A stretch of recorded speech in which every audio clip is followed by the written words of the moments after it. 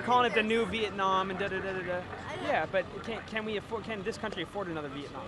I support Bush on personal grounds. I think that the world right now is such a dangerous place.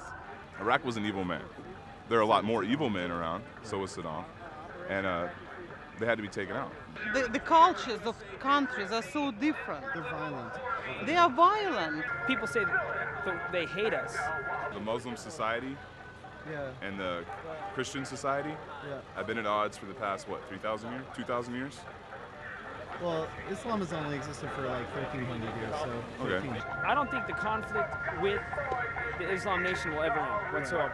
Whether it be in Iraq, Jordan, Syria, wherever. I want to take the battle to them. I think wherever there are states that are supporting terrorists and harboring terrorists, we gotta- Germany. There were a lot of people in Germany, though. I don't know if we can go into Germany.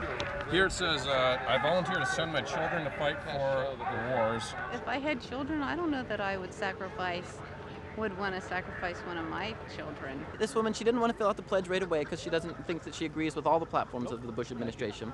But she's going to vote for him as a protest. It's a protest vote for Bush.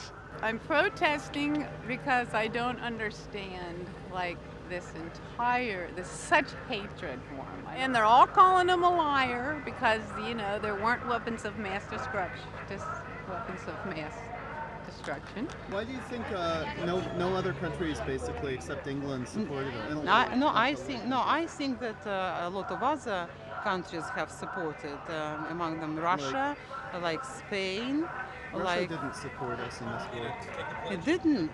No, Russia and Germany and France were dead set against this war, including Russia. Putin did not want us to go to war. Yeah, because you see, uh, it's you're putting me into the political aspect. Well, we're talking about oil economies right now. That's what we're talking. We're talking about oil, right? Right. So what, what what do you think the solution to it is if it's a problem? I mean, is it a problem? Or How can what- it? Well, we spend they, you spend billions and billions and billions of dollars in the oil industry, but we don't spend any money trying to find other fuel sources, Right. try to find anything else to power our cars off. Right. So we listen to this like super diesel thing over here. Sounds like you're against the war. Uh, no, I'm not.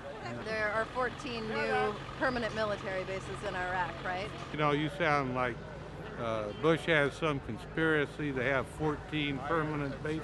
That's true though. In Iraq, we've created a number of terrorists, according to Rumsfeld. Is it okay to. to Well, I mean, we create a lot of terrorists, but if we create terrorists and they're all over there, that's better than creating terrorists and have them come over here.